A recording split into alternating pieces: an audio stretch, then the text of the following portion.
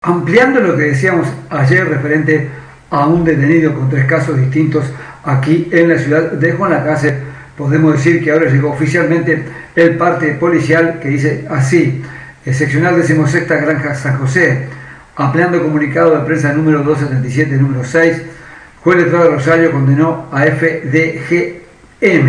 como autor penalmente responsable de un delito de rapiña especialmente agravada y dos delitos de hurto, uno de ellos en grado tentativa, en régimen de reiteración real a la pena de seis años de penitenciaría de cumplimiento